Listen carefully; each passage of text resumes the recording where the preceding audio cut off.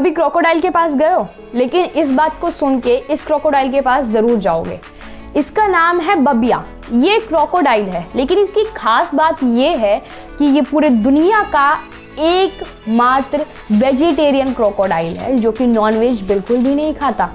और ये केरला, इंडिया का है गाइस ये केरला में है, इंडिया में है। और इसलिए ये है गार्डियन अनंतपुरा लेक टेंपल का।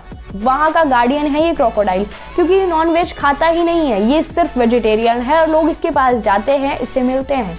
तो है ना, बहुत ही अमेजिंग सा फैक्ट इस वीडियो को लाइक कर दीजिए चैनल को सब्सक्राइब कर दीजिए इंस्टाग्राम और फेसबुक का लिंक नीचे डिस्क्रिप्शन में है, आपको पता ही करना क्या है फॉलो कर दीजिए।